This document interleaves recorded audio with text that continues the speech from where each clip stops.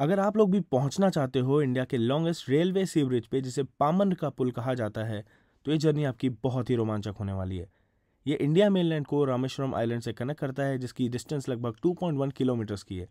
समुद्र के ऊपर बना हुआ पुल काफ़ी कमाल का है। इसके लिए आपको चेन्नई से बोट मेल लेनी पड़ेगी, जो कि रात में 7:15 पे चलती है। जिसका ट्रेन नंबर 16581 है। जर्नी काफ़ी कमाल की होने वाली है।